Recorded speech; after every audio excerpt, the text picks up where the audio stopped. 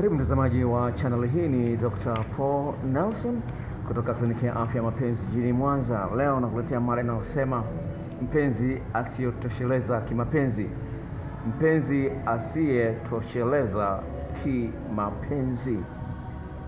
Ndugu msikilizaji, kumekuwa na watu wengi sana sana ambao wanaishi kwenye mahusiano ya kimapenzi, lakini hawana furaha, msisimko wa kutosha na hawajui ni kwa nini hali hiyo ipo.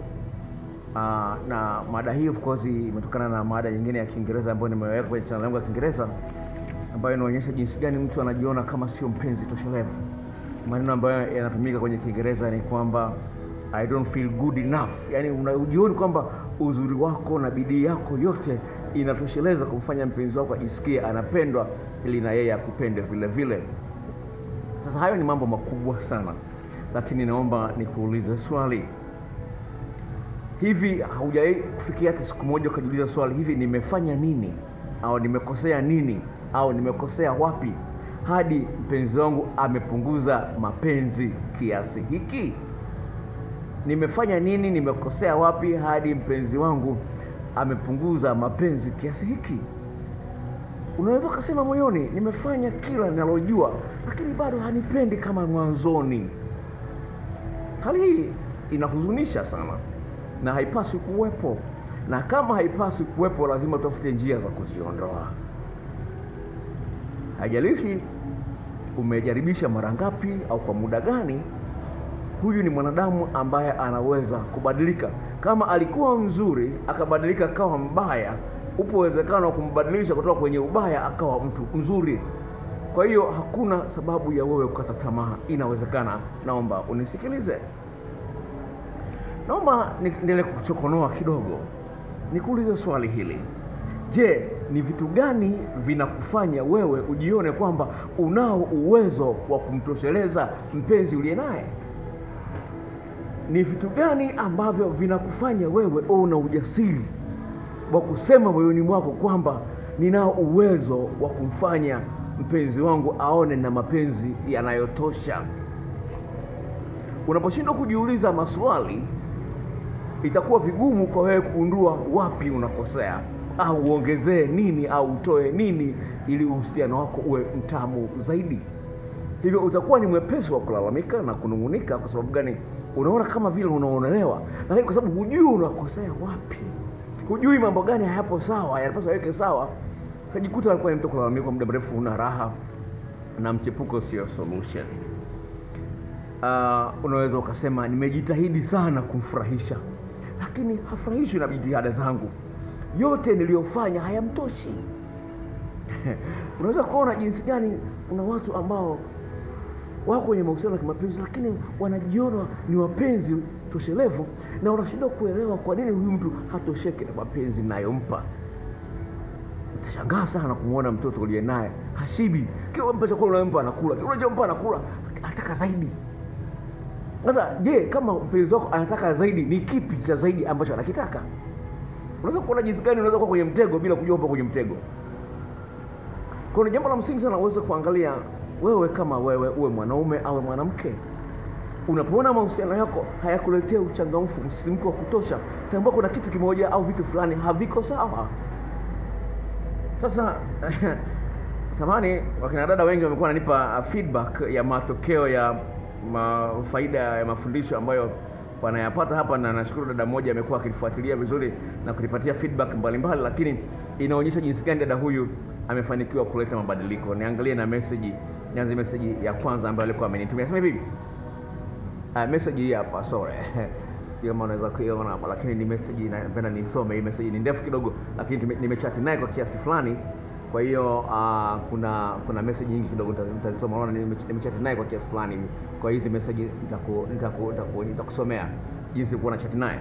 Message ya kwanza anasema kwamba Dokta, asante sana, umenisaidia mengi ambayo siku sikujua kwamba yataniletea faida kwangu. Tangu nimeishi na mume wangu hajawahi kunitamkia kwamba mimi ni mzuri. Huwa watu wengine ndio wananisifia, lakini yeye huwa anapuuzia sana. Sasa juzi sorry sorry. Sasa juzi mume wangu amenitamkia, mke wangu, wewe ni mzuri sana, dokta, nashukuru sana na vivyo namshukuru Mungu uh, kwa mafundisho yako, kwa sababu mke wangu mume wangu anasema hivi uh, sikutambua kwamba wewe mke wangu ni mzuri kiasi hiki na una utamu wa kiwango hicho, na nikamwambia asante. Nilichogundua uzuri hauna maana kama kitandani ni zero. Pia nilimtoa machozi, nadhani unaelewa. Asante dokta wangu, umenisaidia. Nikamjibu nashukuru Mungu, Mungu yu mwema, ataendelea kukupigania. Akasema asante dokta. Sasa hii ni meseji ya leo, asema ngoja nizidi kukupa mrejesho dokta. Hajawahi hata siku moja kunitumia SMS na kuniambia kwamba mke wangu Ara, jina lake linaitwa Ara, wa jamaa ile dada, mke wangu Ara, nakupenda sana sana, umenitoa mbali na umenileta mahali patamu. Dokta, asingekuwa ameweka jina langu ningehisi alikuwa anamtumia mchepuko, ila dokta, nina uhakika kwamba amenitumia mimi, maana ametaja jina langu. Dokta, nashukuru sana, umenisaidia na Mungu akupe afya tele. Unaweza kuona huyu mama ndani ya ndoa miaka nane, kwa mara ya kwanza mume wake anatumia message, anamwambia nakupenda mke wangu.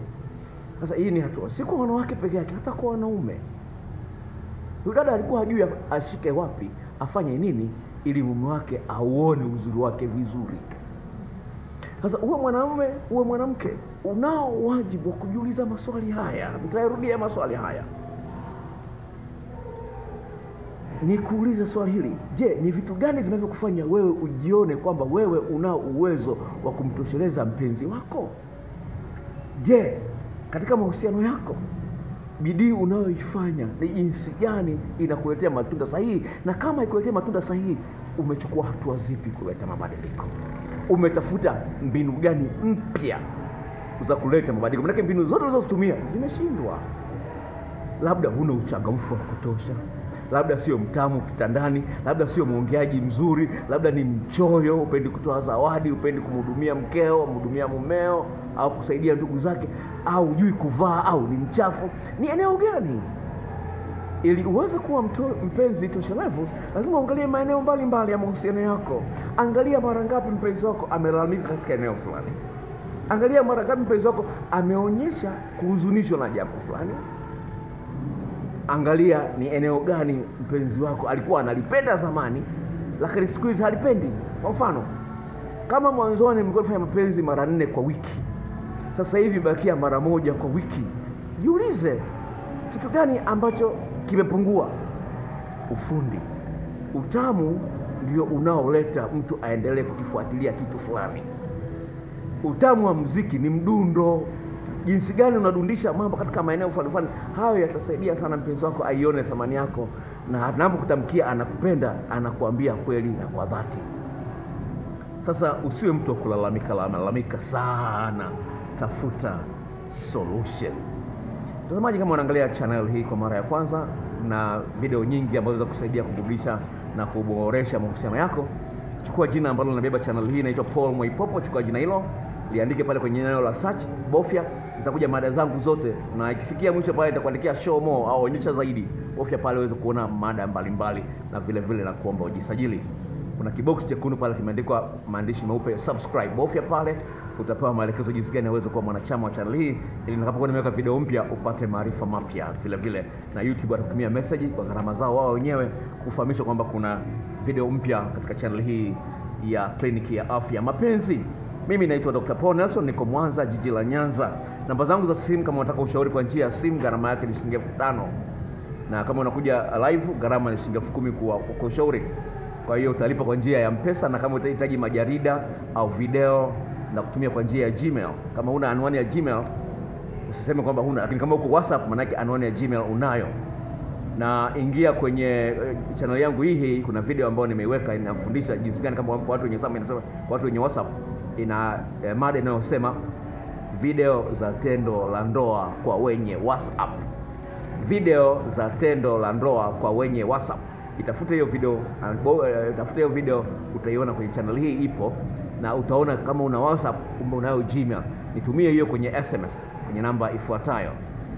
Gharama zake majarida na hivyo vita, na, na, na hivyo video clips ni shilingi elfu kumi, sio bure. Sawa, kuna gharama za ofisi. namba ni hii ifuatayo: sifuri saba tano nne sifuri tatu tisa tisa tisa nne. Nitarudia sifuri saba tano nne sifuri tatu tisa tisa tisa nne sifuri saba tano nne sifuri tatu tisa tisa tisa nne. Nitaiandika hapo chini ili upate urahisi wa kuipata namba hiyo. Tuwasiliane, na unapokuta simu yangu ni iko silence, utapiga simu sipokee, sio kwamba nimekudharau, ni kwamba nimepumzika. Kwa hiyo mara nyingi napokuwa naona sitaweza kujibu kupokea simu, simu yangu wanaiweka silence, ili wanaochukua namba hii kwa mara ya kwanza wafahamu kwamba hii namba iko active, na Mungu akubariki.